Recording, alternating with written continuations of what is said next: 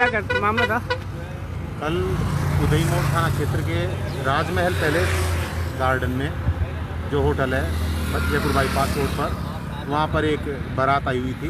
बारात में आ, कुछ लड़के थे।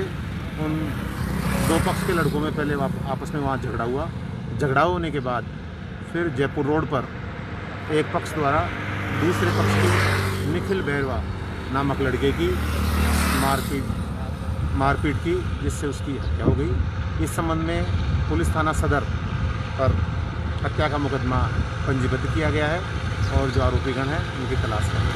सर क्या नाम है? पहले के कोई कोई वांछित अपराधी भी इसमें लिप्त पाए बताए गए हैं सर? अब तक की जो अनुसंधान है जानकारी उसके आधार पर उसमें जो घटना में शामिल है उनका में आपराधिक इतिहास रहा है और आपराधिक प्रवृत्ति के लोगों की जानकारी इसमें शामिल होना पाई गई है। सर वो लोग हैं कौन नाम बता सकते हैं आप? ये अभी अनुसंधान का विषय है और ये लोग मूलतः स्वाई माधोपुर से जुड़े हुए हैं। सर ये जो हत्या हुई है सर ये जो घटना कब की है सर? ये घटना कल रात की। बॉडी को मोर्चरी में रखवा दिया गया फ़िलहाल बॉडी को मोर्चरी में रखवा दिया गया एफआईआर ले ली गई है।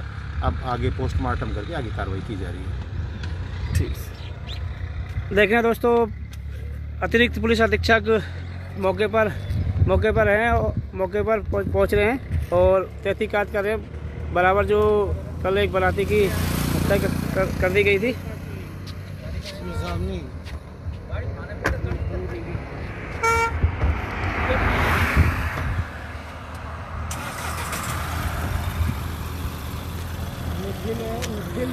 क्या कुछ आप बताएँगे इसमें? क्या क्या मामला बता? हमको क्या पता यार। कुछ सुना तो होगा आपने। सुन रहे ऐसे ही कोई एक्सीडेंट बता रहा कोई मतलब बता रहा